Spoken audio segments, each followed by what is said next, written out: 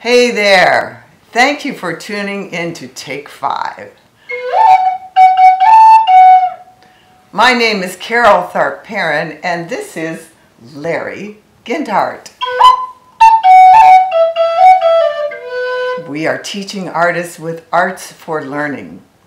And today we are going to share our breathing in rhythm with meditative movement with you.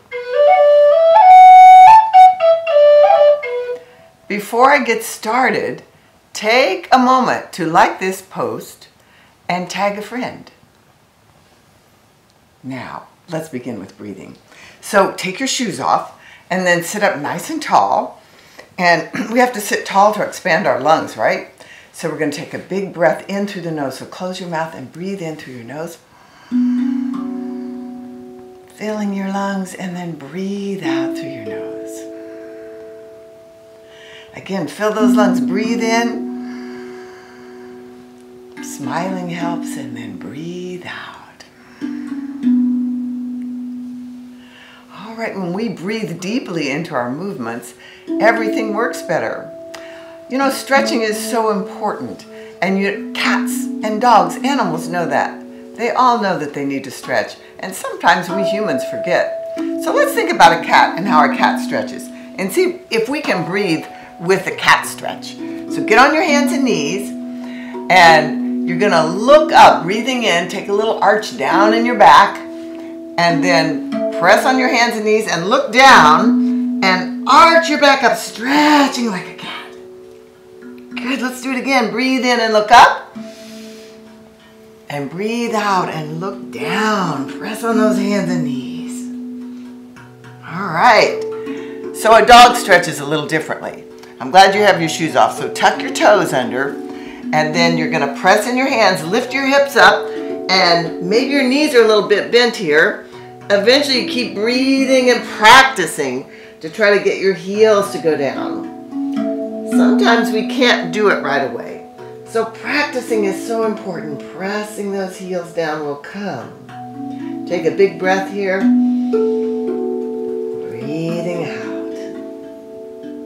Right, come on down. So now we're gonna work on a sun salutation. And that means you're gonna stand up. Humans stand up, don't we? Okay, bring your hands to your heart. Gonna make a big sun, breathing in. Reach your arms up, make a big circle. Looking up. And then breathe out, make a big circle. And now pull your tummy in and fold over as deep as you can. That might take a little practice. Breathe in and look up. Then bend your knees and step back into plank. So you want to try to be strong. Don't let your belly go down like that, right? You want to pull it up and try to be strong so that you're like a board, right? Now when you come down, pull your elbows in, look ahead and see if you can come down. If it's too hard, you can go all the way down. All right, then you're gonna point your toes and you're gonna lift your chest up Pull your elbows back, lift up, pull back, lift your whole body, press on your feet. Maybe you can get your legs up. Look up. And then tuck your toes under. If you need to put your knees down, it's okay. Tuck your toes, lift your tail up, look back at your toes and take a breath. Big breath in, big breath out. A big breath in, a big breath out. Eventually you do that for five breaths. All right, now we're gonna walk up maybe with baby steps or maybe a big step up and then another big step up and breathe in and look up. Breathe out, fold over. Maybe your knees are bent, it's okay. Practice and one day they'll be straight.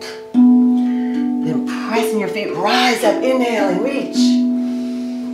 And exhale, bring your hands to your heart. There we go. That's a sun salutation. It stretches every muscle in your body and it will help you to feel better and more peaceful and calm. If you do that five times a day, take five and do five sun salutations and you'll notice what a difference it makes. Alrighty, so thanks for joining Take Five. Be sure to join us next time for another exciting program.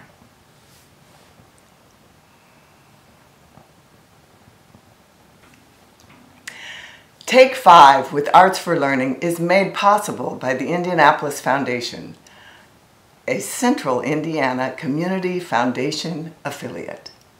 Thank you.